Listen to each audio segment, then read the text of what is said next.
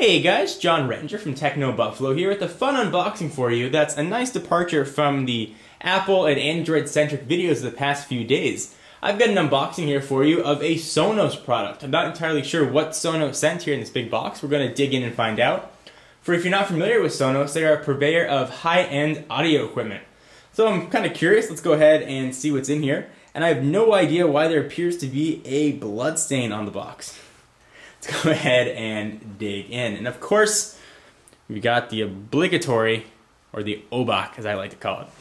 We'll go ahead and just dig into the box and see what we got.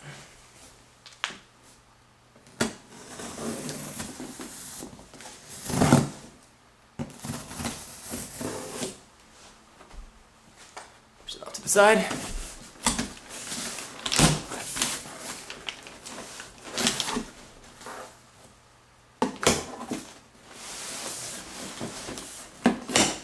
Alright, we've broken the literal seal.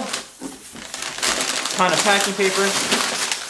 Looks like Sonos sent us the Sonos ZonePlayer S5. Go ahead and give you guys some information on this in a minute once I take it out of this big shipping box. So what do we have here? So we've got some press material. This is a unit that's sent just for demo. Go ahead and take it out of the box. We'll take a look at that in just a minute. Looks like they also sent us a ZoneBridge. Go ahead and push this off to the side and let's take a look at the products themselves.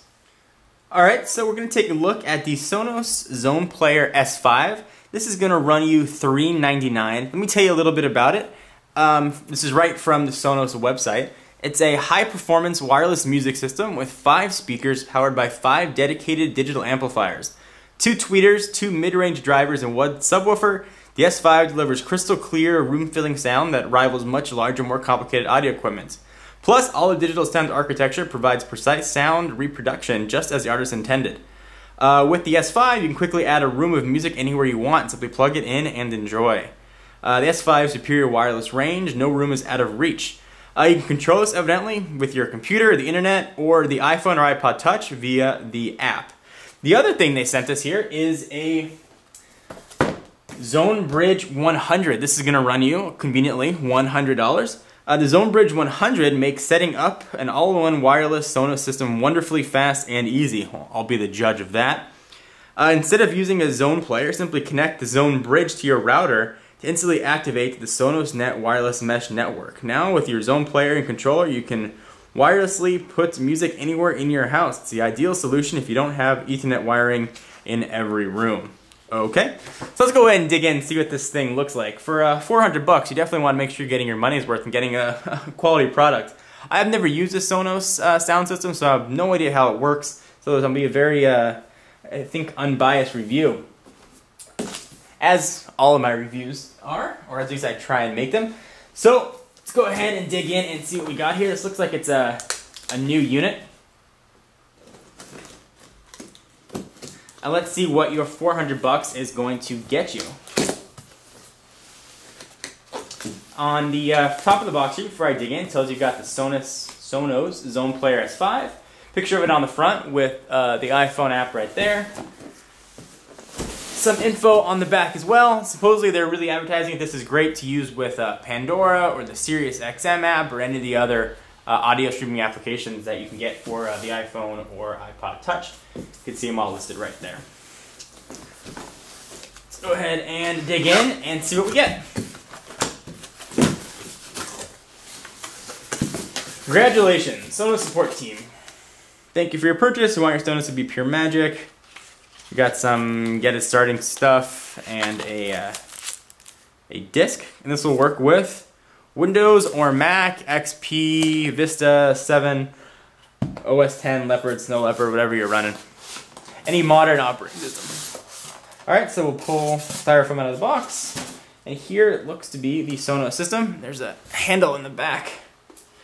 And that's it. It's a very sort of simple design. Um, it's heavier than I expected it to be. Uh, it's got a decent amount of weight to it. Um, looks like just a big speaker grill on the front.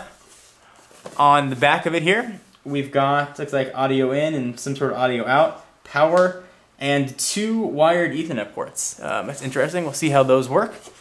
Push that off, and let's see what else we get in the box. There's something else in here. Box within a box. To be anything else terribly exciting. Power, audio cable, Ethernet. And that's appears to be all that you're going to get for your money. Let's go ahead and take a look at the ZoneBridge 100 that the Sonos folks were also uh, nice enough to send over.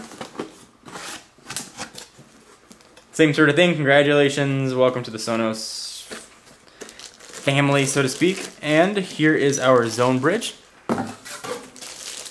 Go ahead and take it out of the box.